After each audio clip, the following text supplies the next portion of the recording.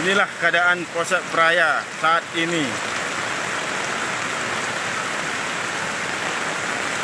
Full banjir dan air pun masuk ke ruangan.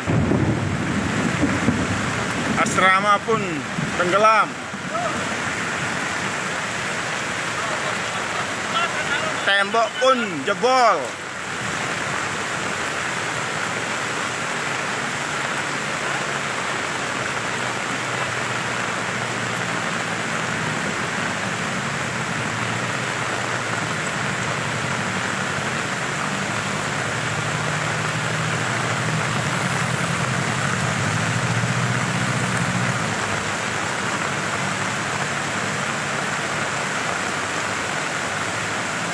Menimpa satu buah mobil.